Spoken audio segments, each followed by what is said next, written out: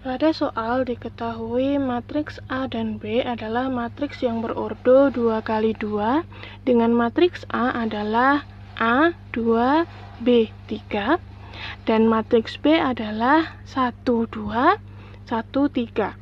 Nah, di sini diketahui pula bahwasanya determinan dari matriks A itu sama dengan determinan dari matriks B.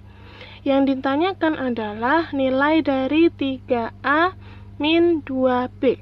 Nah, untuk menyelesaikan soal tersebut, kita harus menyelesaikan dulu yang diketahui, yaitu kita punya bahwa determinan matriks A itu sama dengan determinan matriks B. Sehingga kita bisa tuliskan determinan matriks A-nya bisa kita tulis yaitu A 2, B 3 sama dengan determinan dari matriks B yaitu 1, 2, 1, 3. Kemudian kita di sini bisa kita misalkan ini A, B, C, D sesuai dengan rumus dari determinan yaitu A kali D dikurangi B kali C.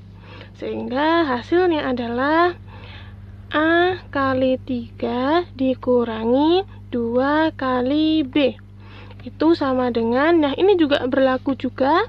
Ini A, B, C, D maka hasilnya adalah 1 kali 3 dikurangi 2 kali 1. Nah, di sini kita bisa lanjutkan.